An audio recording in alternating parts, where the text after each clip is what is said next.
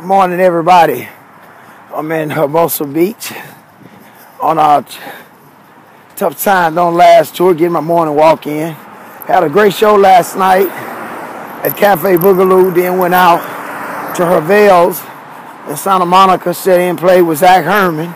We just had a great time. I want to thank everybody for keeping us in your prayers as we travel around this country and take our brand of the blues. Once again, until next time.